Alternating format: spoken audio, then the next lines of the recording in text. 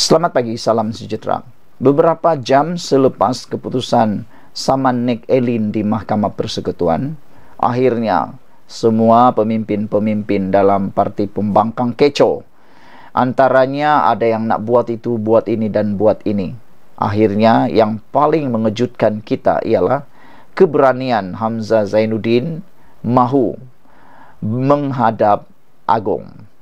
Pembatalan enak menjenayah syariah Hamzah mahu menghadap Agung. Wah, walau lagi Agung dah berdepan dengan pelbagai karenah dan pelbagai perkara yang menarik perhatian Malaysia.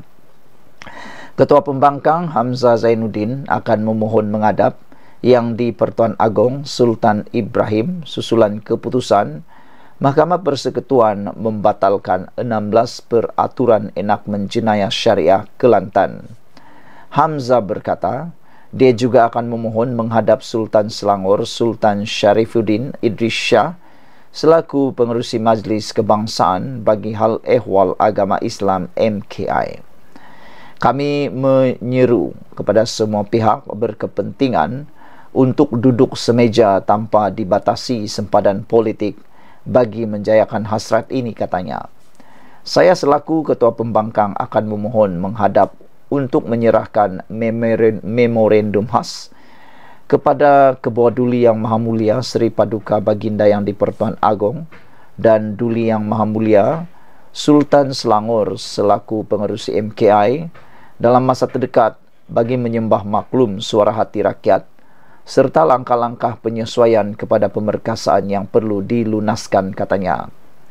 Pagi tadi, Mahkamah Persekutuan membuat keputusan terhadap permohonan dua individu dari Kelantan yang mencabar keabsahan 18 peruntukan enakmen jenayah syariah negeri terbabit. Daripada 18 peruntukan yang dipertikaikan, Hakim menerima 16 daripadanya dengan keputusan 8 berbalas 1. Panel 9 Hakim itu dipengerusikan Ketua Hakim Negara Tengku Maimun Tuan Mat. Dalam kenyataan hari ini, Hamzah berkata, keputusan petition Nick Elin Zurina yang tidak berpihak kepada Badan Perundangan Kelantan menyentuh perasaan seluruh umat Islam, kata beliau. Apatah lagi katanya perkara tiga pelembagaan persekutuan meletakkan Islam sebagai agama persekutuan.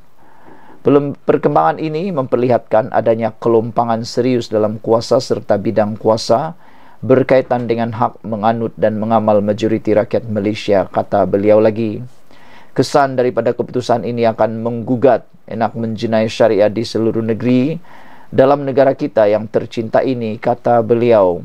Ia akan mendedahkan enak negeri-negeri ini kepada risiko pembatalan katanya. Jika dilihat dari mata kasar keputusan ini boleh mendatangkan impak besar dalam menghakis kuasa serta bidang kuasa raja-raja Melayu kata beliau lagi Katanya Raja-Raja Melayu termasuk Agong semasa mengangkat sumpah jawatan mengikut perkara 37 dalam kurungan satu bersumpah untuk memelihara agama Islam pada setiap masa. Bagaimanapun, Ketua Hakim Negara Tengku Maimun Tuan Mat hari ini sekali lagi mengingatkan bahawa pembuat petisyen tidak mencabar kedudukan Islam dan sistem kehakiman syariah. Sebaliknya, katanya, ia berkaitan keabsahan peruntukan enakmen jenayah syariah Kelantan di sisi perlembagaan kerana melanggar had kuasa negeri. Sekian dulu untuk kali ini. Jangan lupa tinggalkan komen anda, tekan butang subscribe. Malaysia kita punya, kita jaga sama-sama cintai Malaysia. Kita jumpa lagi. Bye-bye.